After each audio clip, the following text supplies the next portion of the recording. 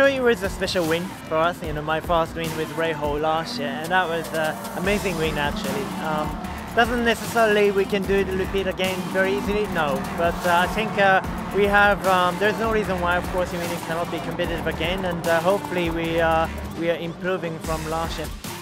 We, we qualified well here, uh, like the Grand Prix, and we want to run up front. We're not going to do anything death-defying tomorrow. Come up with any tricky anythings to try to make it to win the race. Uh, we want to maintain and try to gain our position by at least one, try to get a podium out of this. But if we're fifth tomorrow or sixth tomorrow, we're okay with that. Uh, the big thing is, is that we just keep learning and adding to what um, kind of got us here.